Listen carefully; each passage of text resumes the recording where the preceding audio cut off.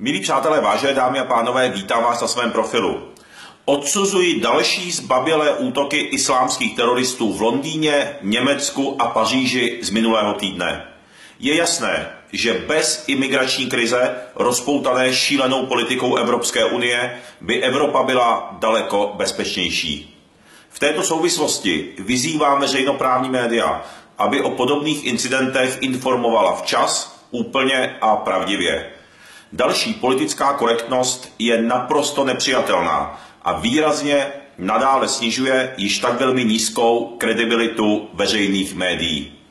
Současně to ukazuje na neochotu současného politického vedení České republiky skutečně vážně této hrozbě čelit, jelikož vedení veřejnoprávních médií je zvoleno vládními poslanci, volenou Radou České televize a Radou Českého rozhlasu.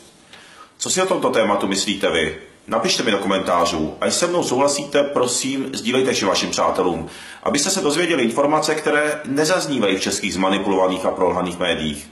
A já vám děkuji, že jste naštívili můj profil a přeji, se vám ve všem krásně daří. Mějte se hezky a držme spolu.